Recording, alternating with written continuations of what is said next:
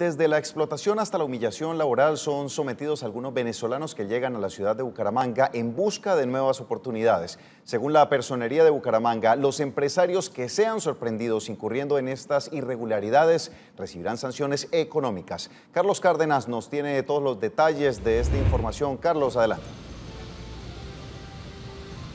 Gracias compañeros en estudio, pues bastante preocupados están las autoridades de Bucaramanga sobre la explotación laboral por parte de colombianos hacia ciudadanos venezolanos. A las difíciles condiciones de inmigrantes se suma la explotación laboral y en muchos casos la humillación que enfrentan los venezolanos en Bucaramanga. A esta venezolana no solo le violaron su derecho laboral, su pago se lo tiraban al suelo. Lo lanzaron en el piso.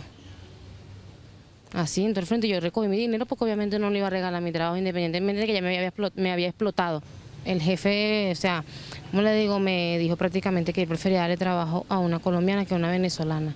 Como ella, muchos venezolanos se someten a largas jornadas de explotación laboral. Bastante cansada y eso pues porque se trabaja fuerte, el trabajo demasiado fuerte y me salen muchas ampollas en las manos.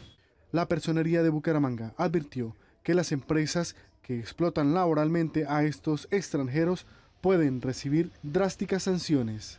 En esos casos, pues el empleador se hace acreedor a unas sanciones que pueden oscilar entre 1 y 15 salarios mínimos legales mensuales vigentes. Eh, es indudable que tenemos que redoblar esfuerzos para visitar unidades productivas más frecuentemente y estar velando porque se cumplan integralmente estos em, derechos de carácter laboral que son, entre otras cosas, irrenunciables. En general, la alcaldía atendió un poco más de 3.500 ciudadanos del vecino país. Del 9 de agosto al 19 de octubre contamos con 3.250 personas más o menos que han venido a solicitar información. El personero de Bucaramanga y voceros de la administración municipal hacen un llamado a los bumangueses para que den un trato humanitario a los migrantes de Venezuela. Esto es todo por el momento. Sigan ustedes en estudio. Canaltro.com Lamentable que se